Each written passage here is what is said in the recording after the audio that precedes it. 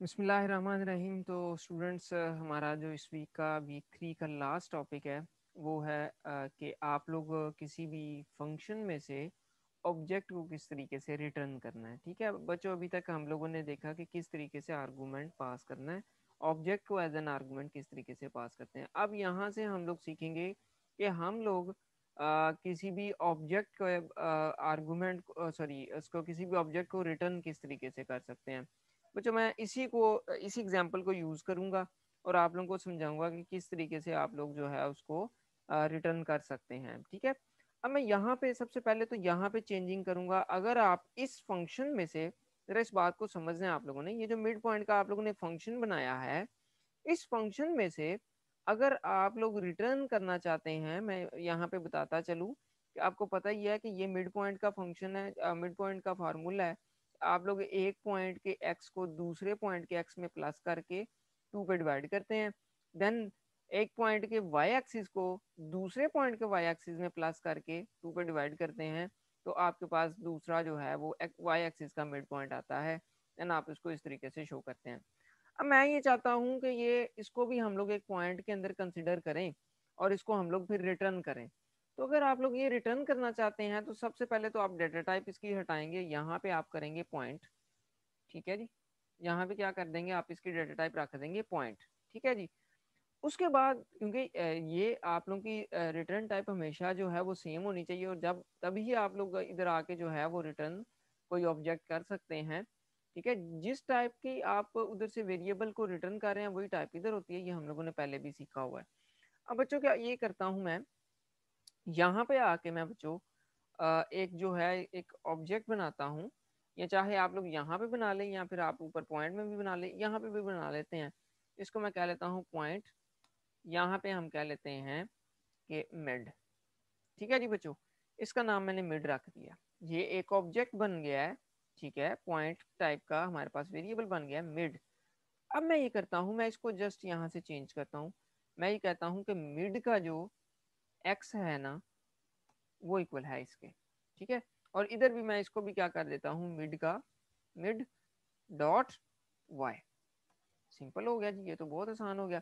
अब ये देखें क्या हुआ कि ये जो पॉइंट है ना, ये मिड पॉइंट जो है, जिसका नाम मैंने मिड रखा है मिड का एक्स इसके इक्वल है? ठीक है जी? और मिड का वाई जो है, वो पॉइंट पहले पॉइंट के वाई के और दूसरे पॉइंट के वाई के टू पे डिवाइड करके तो हमारे पास ये मिड के वाई के अंदर महफूज हो गया यानी सेव हो गया। अब मैं इसको हटा देता हूँ बच्चों, ये ये तो अब मैं नहीं करूँगा क्योंकि मैंने तो यहाँ से रिटर्न करवाना है। और रिटर्न में क्या करूँगा? मैं रिटर्न कर देता हूँ बच्चों, रिटर्न में कर देता हूँ मिड।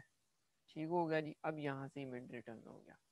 अब इसका मतलब ये हुआ कि मैंने जब भी मिड पॉइंट के फ़ंक्शन को कॉल करना है तो मुझे यहाँ से कोई ना कोई वैल्यू रिटर्न होगी। और वैल्यू रिटर्न क्या होगी? वैल्यू, सॉरी ऑब्जेक्ट पूरा का पूरा रिटर्न हो रहा है मिड ठीक है? तो ऑब्वियसली बात है, जब भी मैं इसको कॉल करूँगा तो यहाँ से कुछ ना कुछ रिटर्न मिलेगा और वो मुझे कहीं ना कहीं स्टोर करना है। अब यहाँ से मैं इसको ज़रा हटाता हूँ, ठीक है? अब मुझे जो है वो उसका डिफरेंट तरीके से कॉल करना पड़ेगा। मैं चले यहाँ पे कह लेता हूँ कि जो पी थ्री है पी थ्री के ज़रिए चलें कॉल कर लेते हैं। P three dot mid point को कॉल करते हैं। अब यहाँ पे हमें वैल्यूज़ तो देनी पड़ेंगी। एक पॉइंट हम कहते हैं पी वन क्योंकि हम लोग आर्गूमेंट भी यहाँ पे ऊपर ऊपर सॉरी हम लोगों ने डिक्लेयर किए हुए हैं तो उसके अंदर भी यहाँ पे पॉइंट टू भी हम लोगों ने कर लिए।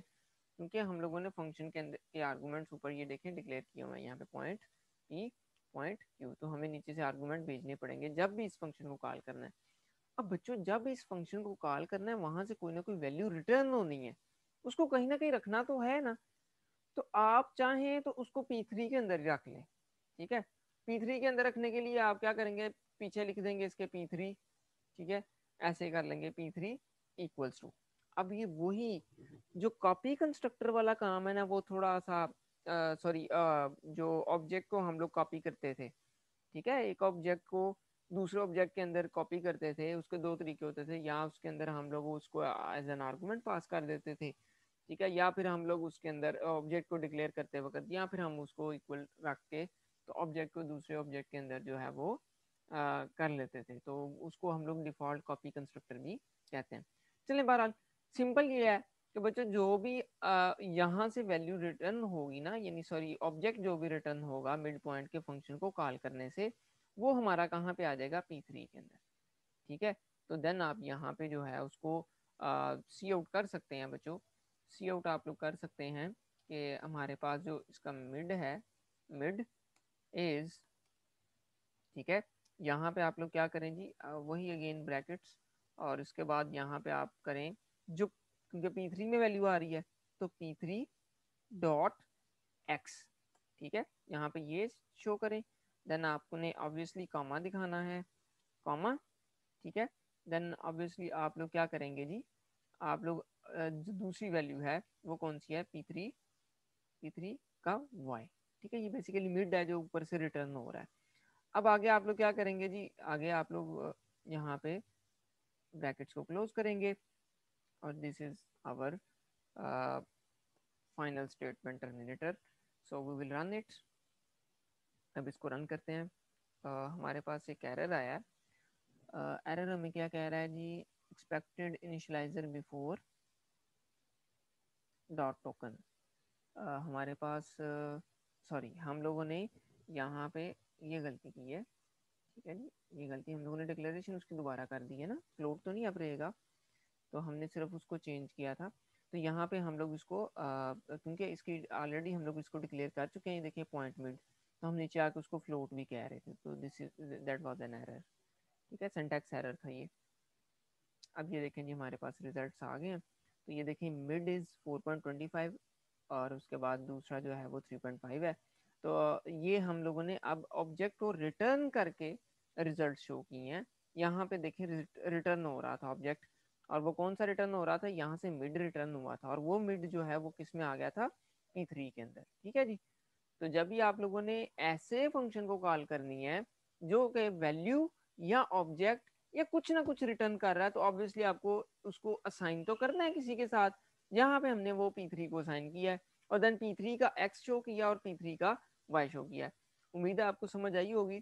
अगर समझ नहीं आई, अगर स्टिल इसमें क्वेश्चन है तो यू कैन आस्क ठीक है जी, इसको आप पूछें इनशाला ताकि बेहतर आप लोगों को समझ आ सके।